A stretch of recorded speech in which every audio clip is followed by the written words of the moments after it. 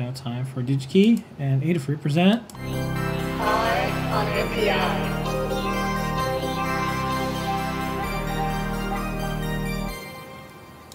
This week's EYE on NPI brought to you by DigiKey. Adafruit is Remcom. Recom. Actually, yeah, I don't know. I don't know exactly how to say it. Rickcom? Rickcom? Um, this is a cool, powerful new NPI. Um, I actually saw this on uh, Reddit. I was uh, not necessarily going there for stonks, but uh, they have a nice chips Reddit, and somebody mentioned uh, this power module. Uh, they're like, hey, check out this new um, product that just came out from Wacom that's available on DigiKey. And I was like, this is really cool. Uh, I definitely want to show this on um, EYE on NPI. So this is the uh, RAC 05, 05SK slash C14. Um, and this is such a cool idea that I kind of was wondering, like, really, are they the only ones who came up with this? It's a DC AC to DC converter, but it's in a panel mount IEC like module format. So how most people do AC to DC conversion, you know, well, I mean, a lot of makers do at least, or, or hobbyists, is they'll use something like this. It's a wall wart adapter. You plug it into the wall, and it gives you a 2.1 millimeter output um, DC, and then you have a DC power jack in your product, like you know an Arduino, or maybe it has a micro USB or USB C end. You plug it into your uh, USB input uh, for your Raspberry Pi or whatnot, and um, now you've got power. So. Um, if you're you know, building a product would, which has an enclosure, you might use um, an enclosed power supply. You still have to do the wiring um, to connect an IEC jack. Um, but if you need something with about the same wattage as a wall adapter, um, and but you want the um, you know finish and professionalism of having it be a panel mounted internal enclosed power supply uh, this will do the job. Um, so why not just have a dc jack? Well um, number one there's no standard for dc power supplies. I mean like they tend to be center positive but not always. I have encountered many in my life that are negative. Um, another thing is you don't necessarily know what the voltage or the current uh, capability of each one is. And you know, if you have a standard jack, like this is a, a, you know drawer I have of all these power adapters. Where do they go to? Half the time I don't even know, but I'm scared to throw them out in case I need them one day.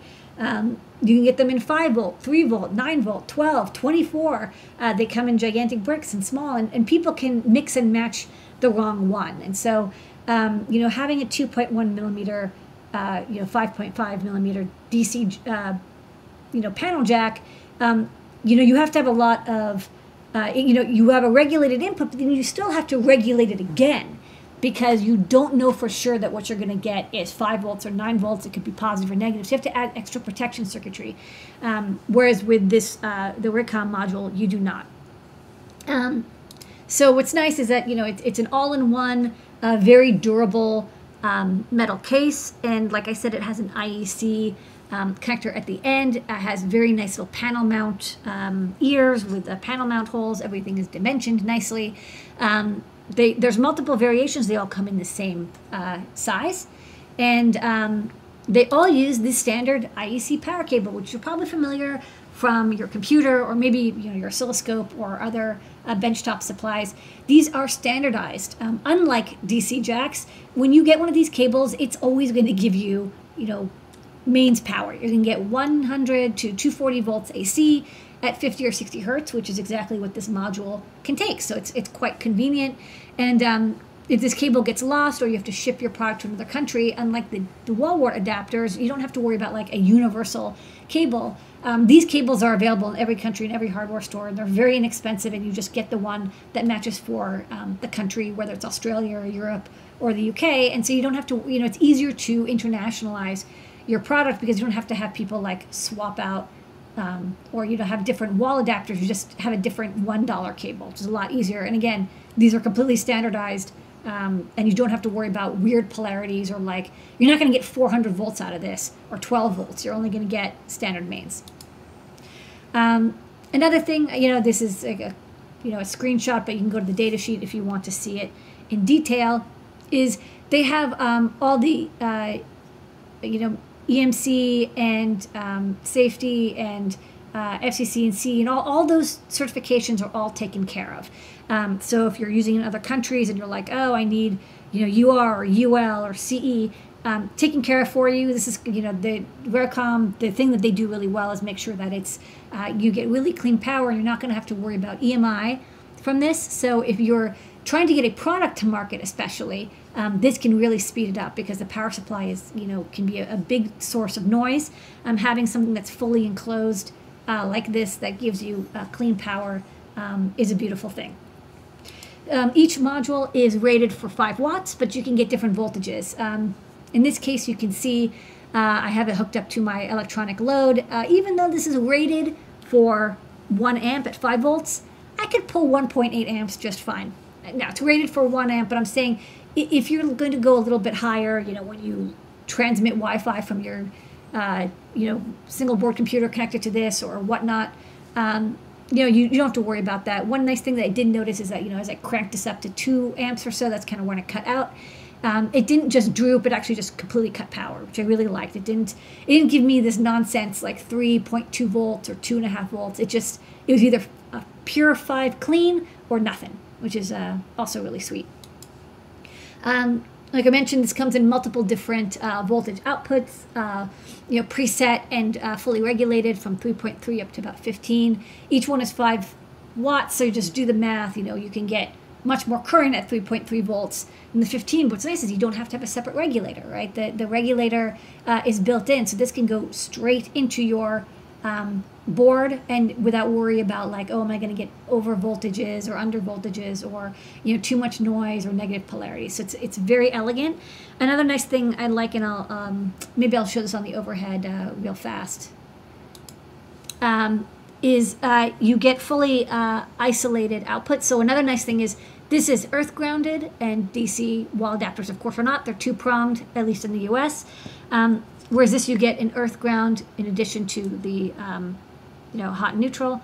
And um, on the opposite side, you get an earth ground tab so that you can see this is completely, um, you know, metal tied earth ground. And you get isolated, um, here it's labeled, you get isolated negative and positive, and it is completely isolated. Like I, I put this on, connected my oscilloscope to it, and it's like, no, you're floating. This negative is not connected to um, Earth at all. So that could be really useful. Again, you know, wall adapters, most of them I think might be isolated, but it's not guaranteed. Um, they they might not be. So um, all of these things make it, I think, for somebody developing a product. If you want to put it in an enclosure, you want to just like not have to worry about people messing things up. Um, you can't mess it up. This is standard, right? This is a standard power adapter, cable connector. There's no, you know, there's no way somebody's going to put something in this that will get you a voltage other than the voltage that you're asking for.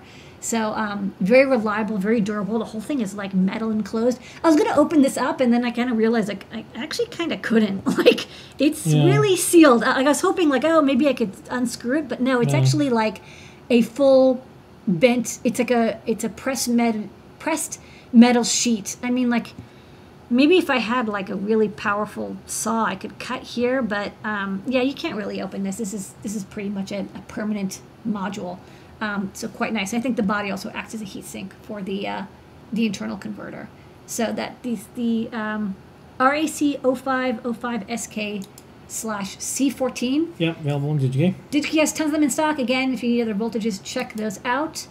Uh, but uh, I really like it. I think if I ever have to, you know, I sometimes I have to make um, really nice um, testers, and I need to have some panel mount, um, you know, IEC connector, and I kind of like didn't want to have to deal with wiring a panel mount IEC jack to a power supply because then you have like these high voltage wires hanging out.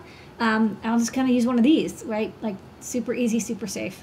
Yeah, it looks like as long as your product is bigger than this, that would be like that's the It's cut. compact. That's the thing. It's like this is really small, and you know, I I think if you can do this instead of a wall wart area, It does one thing and it does it really well. So I think this is really cute. It's a it's a really brilliant idea. Good job from Raycom. all right, and that's all on NPI for this week. High on NPI.